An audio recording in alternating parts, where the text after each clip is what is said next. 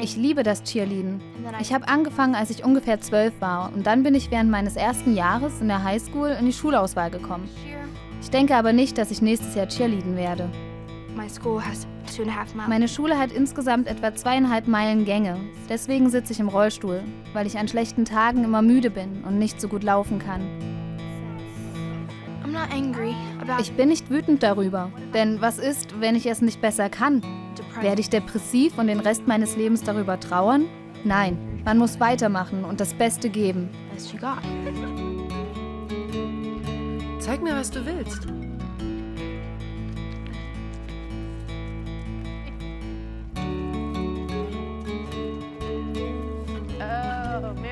Oh, ein Karussell. Es ist schwer, da Jordan nicht behindert aussieht und wir dieses Problem haben, dass, wenn wir raus in die Welt gehen mit diesem Jungen, welcher einen normalen Eindruck macht und dann wiederum etwas völlig Ungezogenes tut, eben dann die Leute anfangen, ihn anzuschreien, da sie annehmen, er tue dies absichtlich.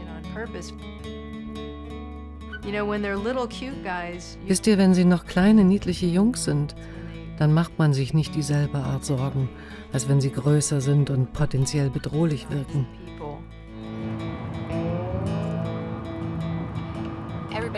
Jeder war so unterstützend, aber manchmal denke ich viel über die Leute nach und weiß nicht, was ich sagen soll. Und manchmal hat man solche Momente, wo man denkt, das kann nicht wahr sein. Das ist nicht mir passiert.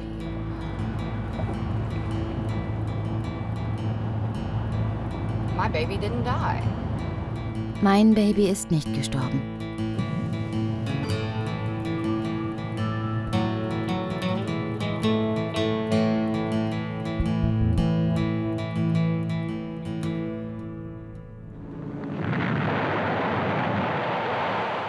Wir fürchten uns vor der Atombombe. Aber wie viele von uns fürchten sich hiervor?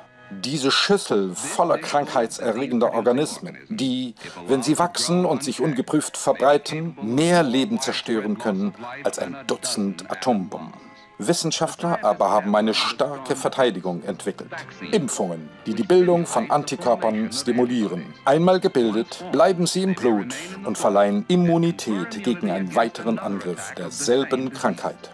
Ich denke, wir nehmen Impfungen als selbstverständlich hin, da wir die Ernsthaftigkeit der Krankheiten, die Impfungen verhindern, nicht länger anerkennen und die Impfungen sozusagen das Opfer ihres eigenen Erfolges sind. Ich war 1991 als Arzt hier während eines massiven Masernausbruchs. Wir hatten sieben Kinder hier im Krankenhaus, die daran gestorben sind. Ich meine, die an einer Krankheit gestorben sind, welche einfach und sicher durch eine Impfung hätte verhindert werden können. Und es war sehr schwer, dies zu beobachten. Es bricht einem das Herz. Als die Krankheiten noch häufiger auftraten, verkauften sich die Impfungen fast wie von selbst. Es gibt heutzutage Leute, die sagen, wir sehen diese Krankheiten nicht mehr und vielleicht sind die Impfungen doch nicht so sicher, wie es behauptet wird. Aber die Geschichte lehrt uns doch, wie effektiv Impfungen sind.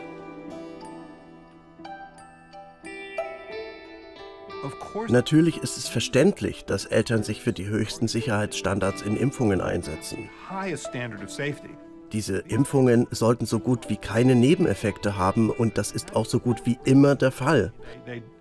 Ich meine, es ist äußerst selten, dass sie irgendein Problem verursachen.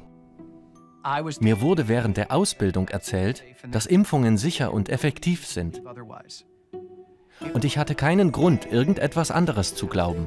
Zumindest bis zu dem Zeitpunkt, als 1991 der Staat New York die Hepatitis B-Impfpflicht verabschiedet hat. Es erschien mir seltsam, dass sie eine Pflicht verabschiedeten, um Neugeborene gegen Hepatitis B zu impfen, wenn diese praktisch keinem Risiko einer Hepatitis B-Infektion ausgesetzt sind. Es brachte mich dazu, zu hinterfragen, ob wir den Kindern überhaupt helfen, indem wir ihnen all diese Impfungen und Injektionen geben. Es gilt nicht nur als eine Annahme, dass Impfungen sicher sind. Es wird vielmehr wie eine Gesetzmäßigkeit behandelt, aber ich denke nicht, dass man es so schwarz-weiß betrachten kann. Es gibt viele Graustufen und immer mehr Leute hinterfragen dies mit gutem Grund, da es wissenschaftlich nicht erwiesen ist, dass Impfungen wirklich sicher sind.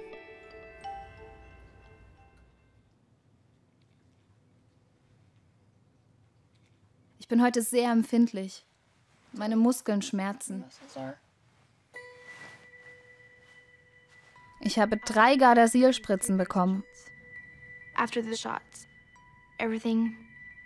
Nach den Spritzen begann der Wahnsinn und ich fing an, krank zu werden.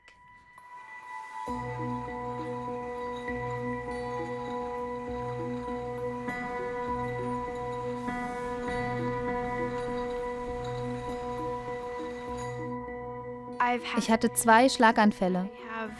Meine rechte Gesichtshälfte ist teilweise gelähmt. Ich habe nur eine beschränkte Sicht und leide an Krämpfen.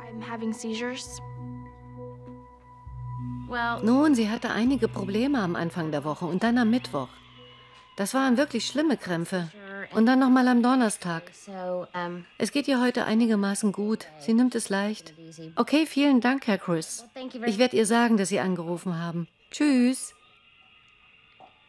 Bei Schäden durch Impfungen dachte ich allenfalls an entzündete Muskeln oder vielleicht einen Ausschlag. Ich hätte nicht im Traum daran gedacht, dass dies ein Nebeneffekt einer Impfung sein könnte. Sie redet mit ihren Freunden nicht darüber. Sie redet mit niemandem darüber. Und wenn ich mit ihr darüber reden will, wird sie wütend. Ich meine also, ich weiß es nicht. Vielleicht denkt sie, es wird verschwinden, wenn wir nicht darüber sprechen. Nein, weil du nur heulst. Es war MTV. Nein, ich weiß nicht, was es war. Jedenfalls hat sie es aufgenommen und zu mir gesagt, Mama, das musst du dir anschauen. Ich antwortete, okay, was? Und erwartete eine Modenschau oder sowas. Zeig mal her. Jedes Jahr erfahren Tausende von Frauen in den Vereinigten Staaten, dass sie an Gebärmutterhalskrebs leiden. Ich könnte eine weniger sein. Mit Gardasil könnte es eine weniger treffen. Ich saß da und habe Musikvideos geschaut. Und jedes Mal lief diese Werbung. Und ich, Mama, ich möchte keinen Krebs haben. Ich muss das haben, aber.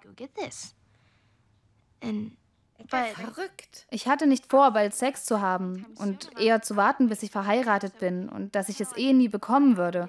Also, ich weiß nicht, was mir damals durch den Kopf gegangen ist. Es kam zu ihr. Es kam zu meinem 15-jährigen Kind.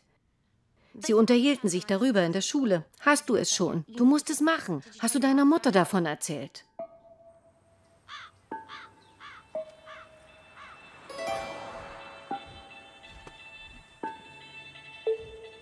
Ich denke, wir sind das einzige Land, vielleicht mit Ausnahme von Neuseeland, das Werbung für Pharmazeutika im Fernsehen erlaubt. Unsere Kinder, unsere Bevölkerung wird bombardiert mit Anzeigen für Viagra. Arzneimittel tun dies oder das. Haben Sie ein Restless Legs Syndrom? Sie könnten PAD haben und es nicht wissen. Da gibt es ein Mittel, das genau richtig für Sie ist. Fragen Sie Ihren Arzt. Es ist unglaublich, was wir machen. Und wir machen genau das Gleiche mit Impfungen.